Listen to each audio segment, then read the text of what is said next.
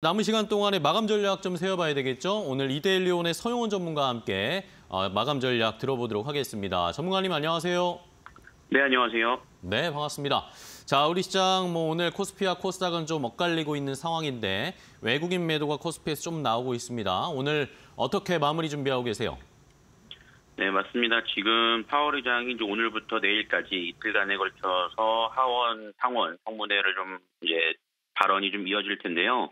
상당히 좀 원론적인 얘기가 나올 것으로 예상은 하고 있습니다. 그렇기 때문에 최근 뭐 제조업 지표가 좀 둔화가 되고 이런 모습은 보였으나 여전히 좀 인플레이션에 대한 우려감들은 남아 있는 상황이어서 좀 경계감이 시장에 좀 반영되고 있다라고 좀 볼 수 있겠고요. 한국 증시 역시 이거에 따라서 좀 약세를 좀 보이고는 있습니다만 뭐 예상한 것보다는 좀 큰 폭의 하락세보다는 어느 정도 선에서는 좀 지지대를 형성해주고 있다라는 점에서 뭐 크게 우려하실 정도보다는 어느 정도 좀 며칠 좀 쉬어가는 흐름들이 좀 이어지지 않을까라고 예상을 하고 있습니다. 어, 그리고 지금 미국 시장에서도 그동안에 좀 상승을 이끌어왔던 엔비디아와 같은 어, 주도주들이 어, 조금 이제 탄력이 좀 둔화되는 모습들을 좀 보이고 있기 때문에 당분간 시장은 좀 박스권에 좀 흘러가는 모습들을 좀 보일 가능성이 높아 보이고요.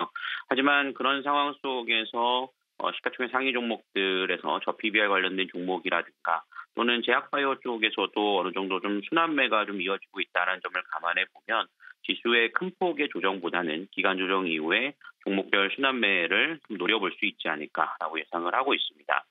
어, 그리고 오늘 좀 섹터별에 좀 나눠서 좀 전략을 세워보시는 게 좋을 것 같은데 그 중에서도 좀 방산주들이 좀 강한 상승세가 좀 이어지는 모습들이 나타나주고 있는데요. 뭐 한 총리의 발언에 의해서 좀 기대감이 좀 들어오는 모습입니다.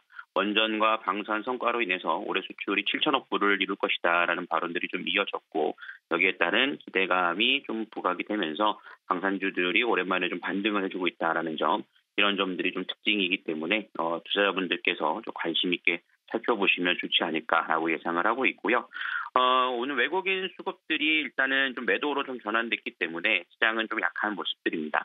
하지만 주 후반까지는 이런 모습들이 좀 이어질 수는 있으나 현재 지수는 어느 정도 선에서 좀 제, 제한적인 하락을 좀 보이고 있는 상황이기 때문에 어, 좀 말씀드렸던 언급해드렸던 업종에 대해서 어, 좀 저점 매수 기회로 잡아 보신다라면 뭐 큰 어려움은 없지 않을까라고 예상을 하고 있습니다. 네, 알겠습니다. 일단은 뭐 제롬 파월 연준 의장 이야기 나올 때까지 좀 쉬어가면서 오늘 장 마무리 잘 해보도록 하겠습니다. 오늘 좋은 전략 알려주셔서 감사하고요. 다음 시간에 또 뵐게요. 고맙습니다. 네, 감사합니다.